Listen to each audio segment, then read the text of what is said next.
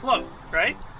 So the task of this, because these are submarines, we work for the Portsmouth Naval Shipyard, we work with submarines, is to add these weights and try to find the perfect point to where this is at neutral buoyancy. So it's floating in the water. It's not sunk to the bottom and it's not floating on top. It's it's suspending in the middle of the water. And if you can achieve that, then you'll get your own little floaty submarine.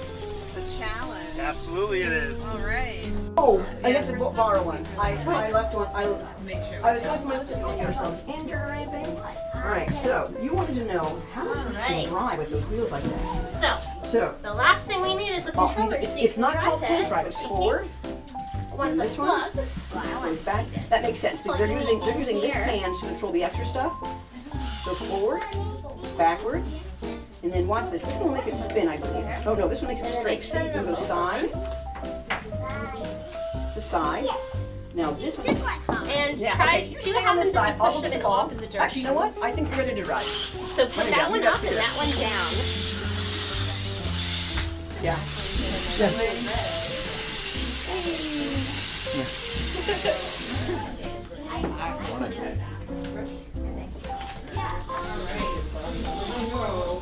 These look. these are little robots that do things based on the color sequence that they see. There's little sensors in the bottom. And so when you let them follow the line, since they can sense where the line is, they'll do certain actions based on what order you've put the little color codes in. These are called uh, either Ozobots or Ozobots. So like that one will make it do a spin.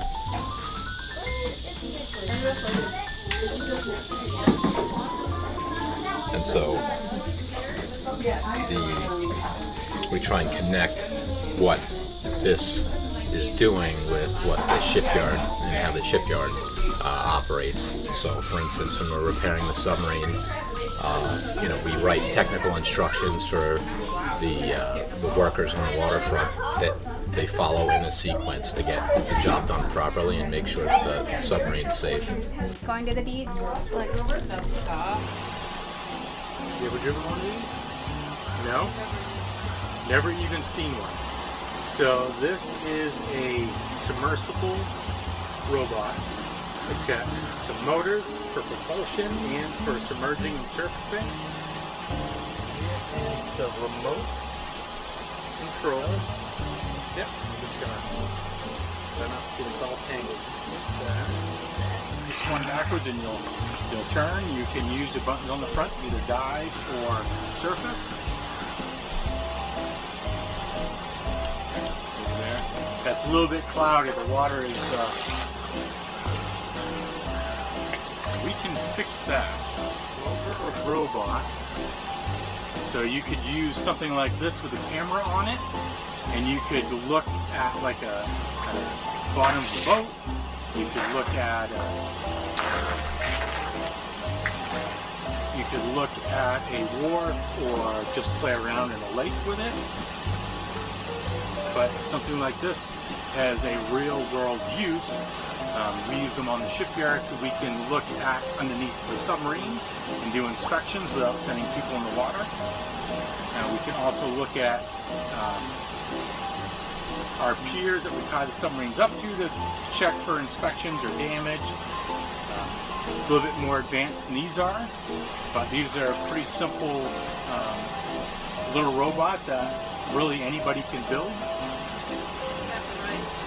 If you have, yeah, and it's uh, it's just it's a sea perch kit, uh, and you can.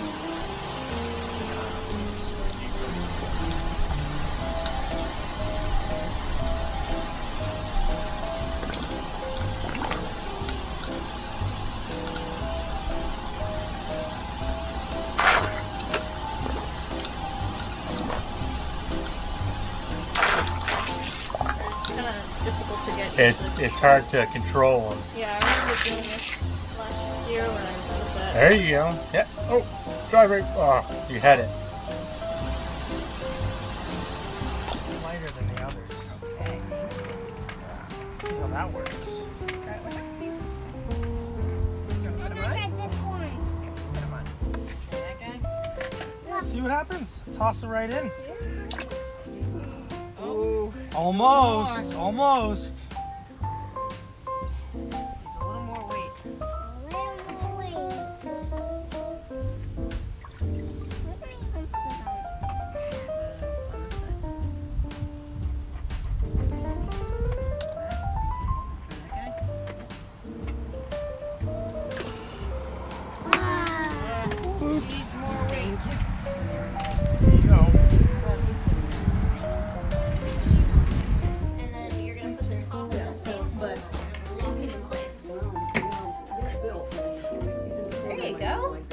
That's not coming apart now, is it? My son got started programming. It's out of air. It's gonna take a lot of thumb strength, so sometimes it helps to do one at a time.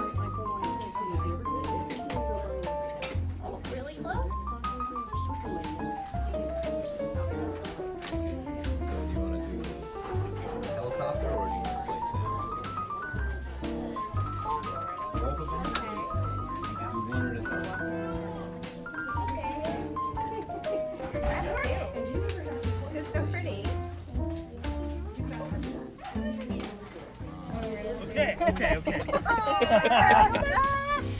go. I Ready? didn't even think about adding more paper. Can you take your hand away, Scarlett?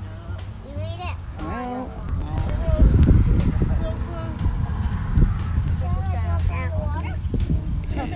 Almost. give me one more paper. Really, really close, and you just need a tiny bit more weight.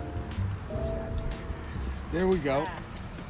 It's not Oh yeah, it's not touching. No. There it is. I'll count it. you did it. You did it. You know what that means?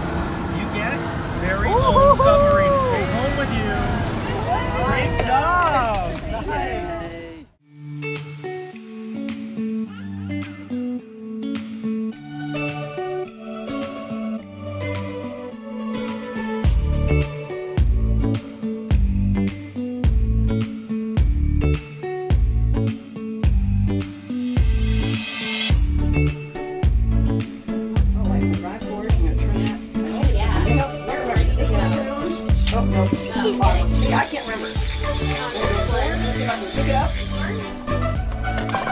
They'll go down this way eventually. For you, for you. Let's just see. Let's leave it in the water without, without it moving. See how it looks. Before I touch it in there. So it's actually it doesn't seem as bad. It's only oh, I can try it. Let's just see.